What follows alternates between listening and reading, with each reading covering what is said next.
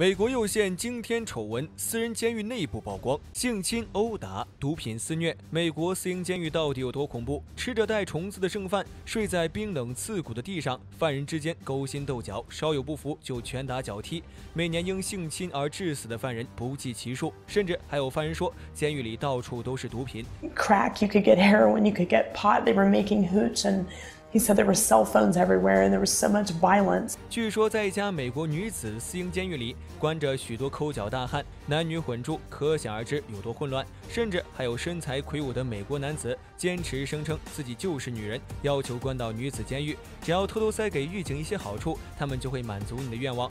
足见呢，这利益背后有多恐怖。而在美国，这些私人监狱竟然合法化，还有美国政府撑腰。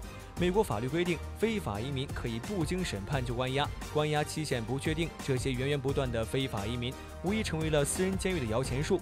据统计，仅2021年，美国监狱关押非法移民的犯人就达到了170万，私人监狱就占据了一大半。犯人说，这里条件恶劣，被迫睡在地上，生病得不到治疗，甚至在喷打农药消毒时将门窗紧闭，得不到通风。因为长时间关押，很多犯人受不了精神与身体的双重折磨，选择了自杀。光是想想呀，就觉得可怕。但这也只是曝光出来的状况而已，那些没有公开的，我们也不得而知。美国私人监狱靠关押犯人一年狂赚五十亿，私营监狱为何这么赚钱？一张床位四十美元，喝口水都要交钱，就连公共区域的电视都是无声的，想看必须拿钱。只要你有钱，在美国监狱里也可以享受到五星级酒店的待遇，豪华的总统套房，定定制的豪华套餐。而这些犯人呢，上能制作电路板，下能拿针绣服装，可谓是无所不能，就像是被套上缰绳的驴一样，永不停歇的在生产线上拉磨。美国的口罩、羽绒服、键盘大多都是这些犯人制作的，他们一个小时的薪水只有一美元，而且还不会有人讨价还价，妥妥的廉价劳动力。累死累活的干完活后，吃的还是毫无营养的饭菜，就连睡觉呀都是几十个人挤在一起。牢房里充斥着一股刺鼻难闻的味道，脏乱差，环境恶劣，吃不好睡不好。但只要你肯出钱，待遇就会完全不同。这位因酒驾而被拘留的美国姑娘，为了住得舒服，就拿钱选择了一天八十二美元的双人牢房，不仅可以免费使用电视、电脑，还可以免除劳动，吃饭呢还有人送饭上门。这哪是坐牢呀，简直就是度假呀！真应了我国一句老话啊，有钱能使鬼推磨。尽管这些私人监狱存在各种弊端，可关押犯人的数量却在逐年上升，甚至这些私人监狱还上了市。据统计啊，美国在押犯人居世界第一，私人监狱就占了一半。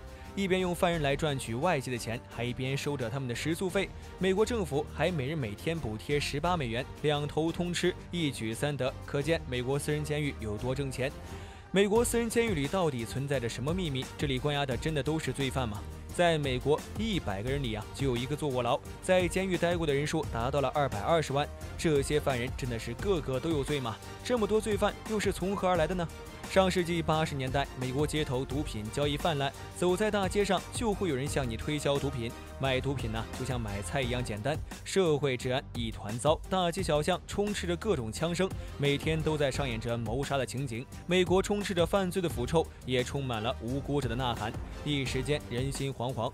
为了解决这个问题，美国政府派出许多警察维护治安，看到可疑人员就抓起来，瞬间监狱就人满为患，还有很多犯人无处安放。这时，私人监狱就顺势而生。这家监狱啊，就是美国最大的私人监狱 CCA。